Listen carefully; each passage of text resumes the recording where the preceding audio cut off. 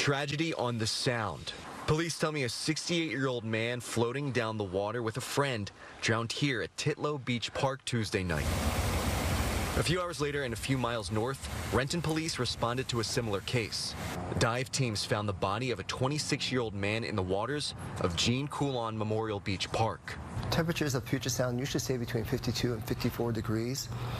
Hypothermia can set in in as little as 15 minutes. Detective William Muse with the Tacoma Police Department says no matter how strong of a swimmer you are, always be smart while on the waters of Washington. The people spend time in the water in non-U.S. Coast Guard approved personal flotation devices. The type of flotation device that works well in the pool, water wings, or a little float raft is not going to be good for open water. This dangerous heat creates concerns off of the water as well.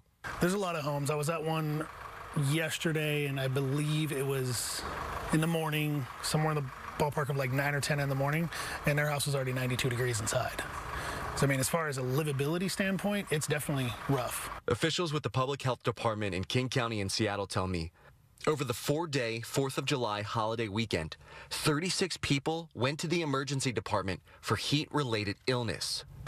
In comparison, there were about 10 incidents the week before. We have been getting a lot of people needing or wanting air conditioning either. Zane Hood with Heart Services tells me their phones are ringing off the hook from people looking for relief.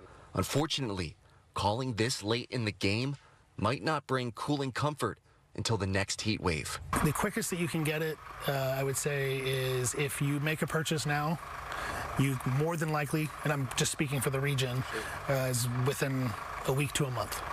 And it really depends on the demand and availability of parts, which is getting more and more difficult as time goes on. Temperatures are expected to drop tomorrow. However, they're going to remain in the 80s. We have information on how to stay safe and cool on Fox13Seattle.com. Reporting in Tacoma, I'm AJ Janavel, Fox 13 News.